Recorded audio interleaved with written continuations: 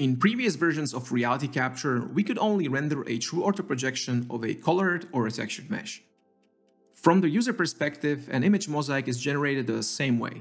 We just need to change the rendering method in the ortho projection tool.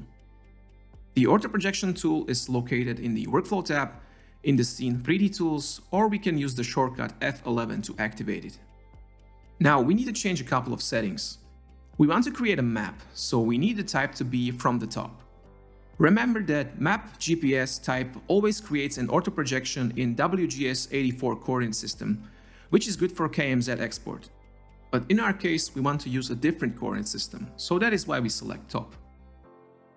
Next, I will expand this info panel and make sure that the coordinate system is set correctly. So in our case, yes, it's fine.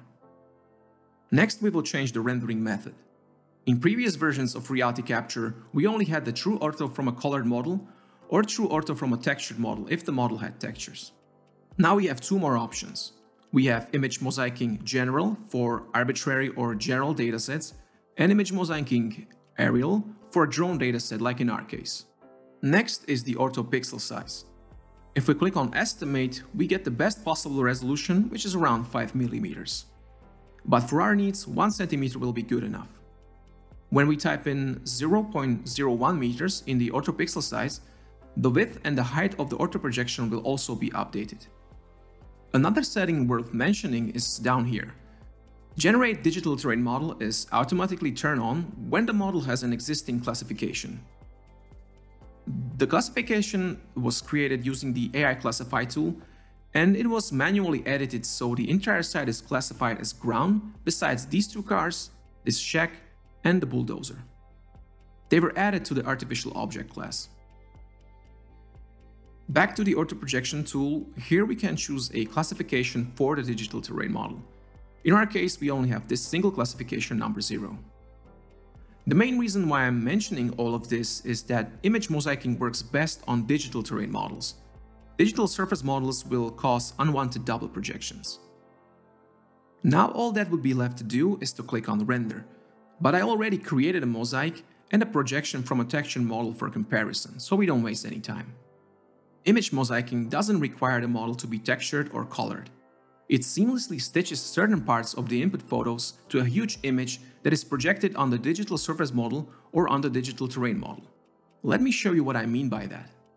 We will go to the Ortho 2D View Context tab. Now we have a new input layer called mosaicing. When we click on it, we can see the entire mosaicing scheme displayed in the 2D view. Or we can switch back to the image layer and display the mosaicing scheme as an overlay. Each tile represents a part of a certain image. We can even select individual tiles and also add color cursors to them. We can see exactly which part of the image was used for this tile. You may ask what is the benefit of this method, and the benefit is increased quality of the ortho projections. We can do a quick comparison with the true ortho projection from a model. Let's check them side by side. Let's disable the mosaicing overlay for this projection, and let's assign the green cursor to the second projection from the texture model by holding down the number 2 key and clicking on it in the 1DS. Let's zoom to these cars because I found them to be a good example.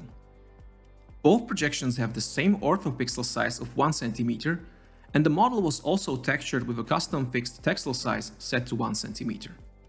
The difference in quality is obvious to the naked eye.